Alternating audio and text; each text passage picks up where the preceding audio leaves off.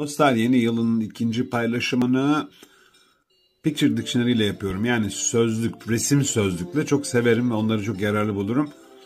Parts of a car, bir arabanın parçaları değil mi? Evet bakalım hemen ön tarafından başlayalım. Headlight nedir? Ön far. Bonnet İngiltere'de, hood Amerika'da kaput demek. Windscreen wiper nedir? Ön cam sileceği. Windscreen İngiltere'de ön cam, ön cam demek. Windshield Amerika'da ön cam demek. Aerial İngiltere'de anten demek. Antena Amerika'da anten demek. Boot bagaj demek İngiltere'de. Trunk yine Amerika'da bagaj demek. Tire lastik demek. Yazılışları farklı İngiltere Amerika'ya göre gördüğünüz gibi. Mirror tabii ki ayna.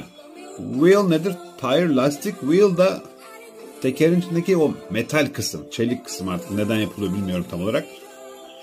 Indicator İngiltere'de sinyal lambası demek. Turn signal, sorry, affedersiniz, turn signal Amerika'da sinyal lambası demek.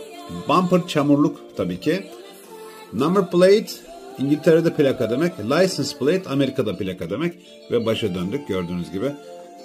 Lütfen iletilerimi beğendiğinizi belli edin. Yorum yapın ve dostlarınıza paylaşın. Teşekkürler.